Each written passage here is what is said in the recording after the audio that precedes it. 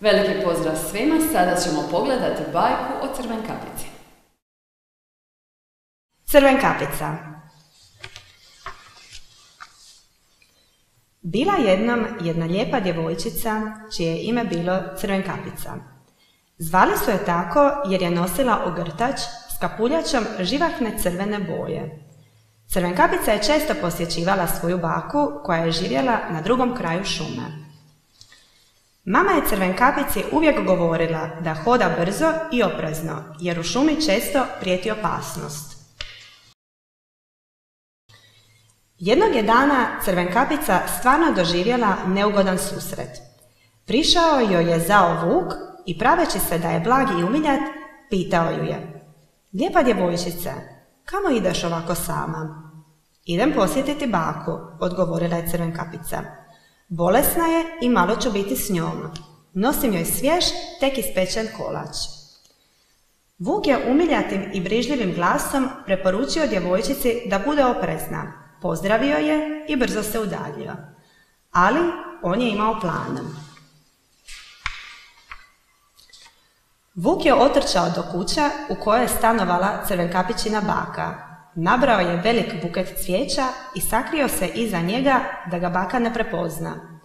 Nadao se da će ga baka zamijeniti s crven kapicom. Pokucao je na vrata i rekao, Bako, bakice, ja sam, mogu li ući?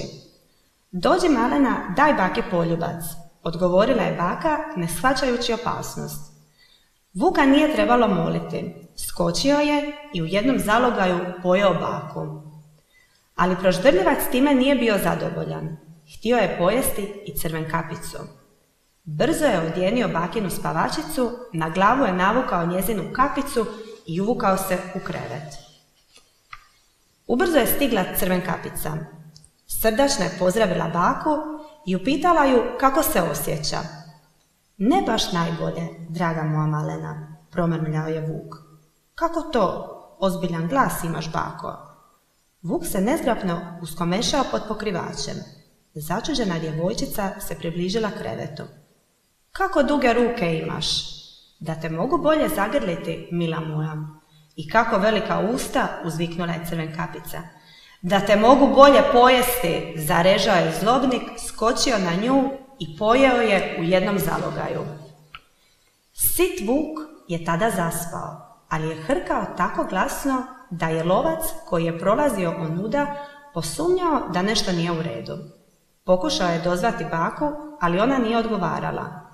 Kad je lovac vidio vuka s velikim trbuhom, shvatio je što se dogodilo. Otvorio je vuku trbuh i tako oslobodio crvenkapicu i baku koje su se radosno zagrlile. Čiča miča, gotova je priča.